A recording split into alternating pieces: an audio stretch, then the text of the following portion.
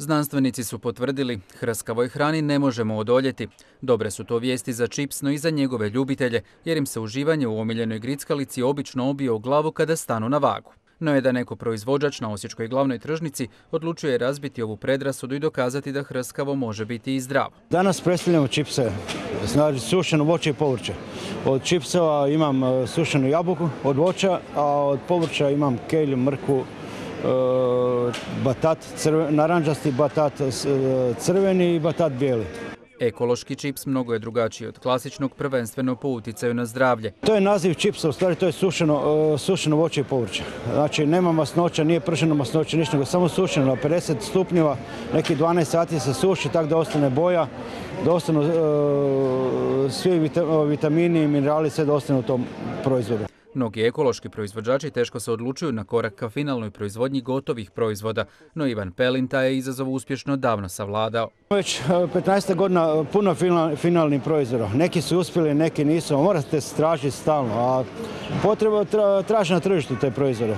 Možda ne toliko Osijeku, traže e, Zagreb, Split, Rijeka, Pula, e, Porečod, inače, to mi glavno tržište, Istra. Ovaj, oni najviše traže te proizvode.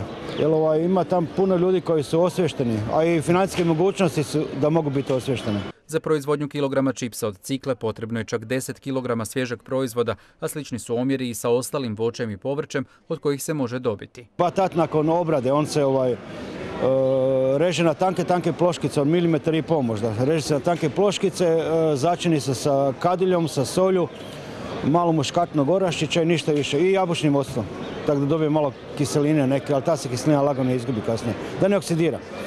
I onda ide na sušine. To je sušenje neki 10 od 12 sati i dobijete taj hrskavi čips. I, I koji zadrži boju i okus sve.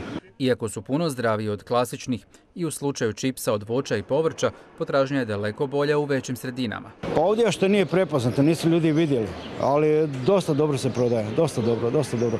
Puno rada, nije neka dobit, ali e, uspije se prodati. Dakle, zahvaljujući čipsu od jabuke, cikle, kelja i batata, možete na zdrav način uživati u omiljenim grickalicama.